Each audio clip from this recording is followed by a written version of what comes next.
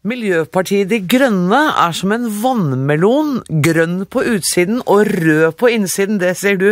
Fabian Stang, du er ordfører i Oslo for uh, Høyre. Vi har hørt tilsvarende analogier før om uh, kommunister som skulle late som de var kommunister og ble sett på som reddiker. De var røde utenpå og hvite inni. Mener du virkelig at Miljøpartiet De Grønne er helt rød inni? Ja, nå må jeg først være ærlig på at uh, den uh, metaforen er ikke min, altså. Jeg har stjålet den av noen, men ja, jeg syns den er ganske god. Og du falt litt for den? Ja, jeg falt for den fordi at jeg som ordfører så ser jeg hvordan Miljøpartiet i Oslo stemmer. Uh, og, og, det er ikke noe galt i det å stemme sosialistisk, men ja, 80% av tilfellene så stemmer Miljøpartiet sammen med Rødt. og tidvis SV og Arbeiderpartiet. og det syns jeg Eh, det kan være ålreit at Miljøpartiet er ærlig på. Altså, Miljøpartiet vil boikotte Israel og, og sånt noe. Det, det er jo fair politisk standpunkt, men da, da, tror jeg ikke man skal si at man er uavhengig. Mm. Lan Marie Njen Berg, du er førstekandidat for Miljøpartiet De Grønne i eh, Oslo. Eh, har ordføreren et riktig inntrykk av dere?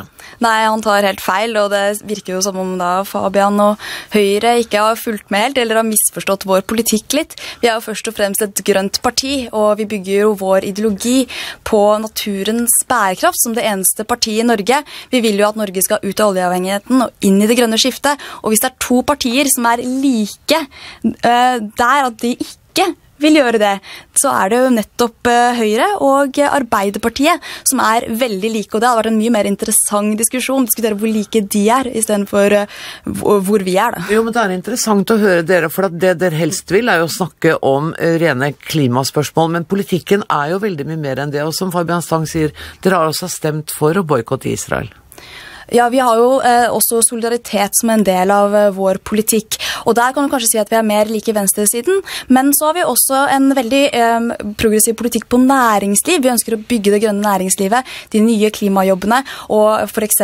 da eh, frita eh, eh, nye bedrifter for arbeidsgiveravgift de første tre årene. Vi vil ha et såkornfond for nye grønne bedrifter, og det tror jeg vi kan snakke med Høyre om. Et annet eksempel er jo skolepolitikken. Vi er litt kritiske til heldagsskolen, og vi er åpne for private aktører så lenge de ikke, um, så lenge de ikke tar ut profitt, og så lenge de ikke går utover det offentlige tilbudet.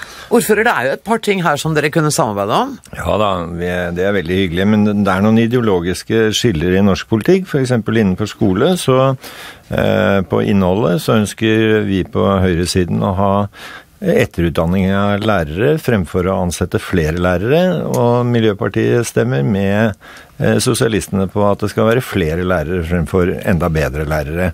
Eh, når det gjelder å bygge skolene, så ønsker vi at noen private innimellom skal, eh, skal gjøre det, i tillegg til det det offentlige bygger, for at vi skal lære av det private, f.eks. å få bedre miljøløsninger på bygningene. Og da stemmer Miljøpartiet sammen med sosialistene. Så, men, men, det, er ikke noe galt i det. Altså, Nei, jeg hører du sier det, men jeg skjønner at det kanskje Det er ikke straffbart å være sosialist, men det er fair å være ærlig. Er dere ikke helt ærlige? Nei, jeg mener at vi er helt ærlige når vi sier at vi er et grønt parti, og det her har vi jo sett bl.a. i Sverige. Hvis vi først skal snakke om statistikk, da, for nå har vi bare sittet med én person i Oslo bystyre i fire år, vi har vokst veldig kjapt i, i, Norge, så det er mye bedre å se på statistikk ved å se til Sverige, da. Uh, og der har vi jo stemt uh, Eller der har vi samarbeida med mange partier over mange år, og stemt 60 uh, eller samarbeida 60% med venstresida og 40% med høyresida. Og um, i Oslo bystyre så har vi bare sittet sittet i fire år, og vi har vært i opposisjon. og Da er det jo ikke så rart at vi også har funnet løsninger med opposisjonen, istedenfor å bare stemme for politikk som vi ikke har vært med å utforme. Men, men nå gjør dere det jo bra på meningsmålingene, eh, og, og, dere kan faktisk komme i en vippeposisjon eh, i, i Oslo. Mm. Er det ikke da ryddig å være litt tydeligere på hvor man står blokkpolitisk? Eh, vi er jo et parti som er dannet nettopp fordi vi ser klima- og miljøpolitikken som det aller, aller viktigste. Og det vi har sett i Norge de siste mange årene, det er jo at Høyre og Arbeiderpartiet og Frp, det som vi kaller de grå partiene, er utrolig like når det kommer på veldig tunge politikkområder som klimapolitikken, miljøpolitikken, samferdselspolitikken og energipolitikken. Dette her er viktige politikkområder når vi skal sikre sikre Norge, jobbene våre og, og økonomien vår framover når vi, når vi har klimakrisen. Og vi ser jo at Arbeiderpartiet og Høyre og Frp har stemt helt likt for å utvinne olje i 23. konsesjonsrunde. De har stemt helt likt for å ha mer, eh, for å ikke stoppe kapasitetsøkende veier inn til storbyene. Og de har stemt helt likt mot at E18 skal være en del av klimaforliket på Stortinget rett før sommeren. Nå må jeg slippe til representanten for de grå partiene.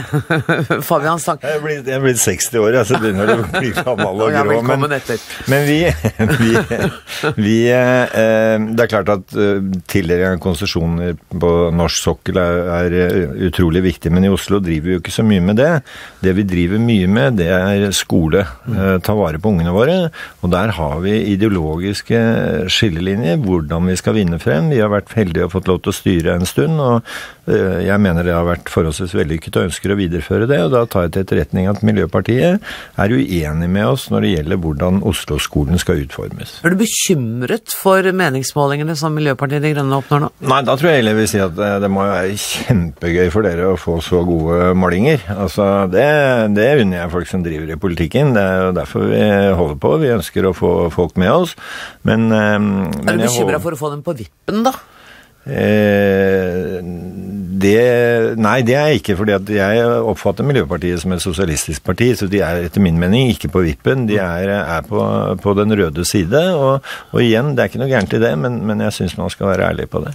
Jeg syns jo at uh, det her viser nettopp at Fabian ikke har forstått hva vi står for. fordi vi setter jo klima- og miljøpolitikken først. Vi har flere ganger sagt at vi gjerne vil prate med dere etter valget dersom vi skulle komme på vippen. Og jeg har jo lest i ditt program, og der ser jeg jo at dere ønsker å gjøre Oslo til verdens beste klima- og miljøby. Og der tror jeg vi har veldig mye mer å snakke om enn det dere har å snakke om med Frp da. og Carl I. Hagen, som er klimafornekter.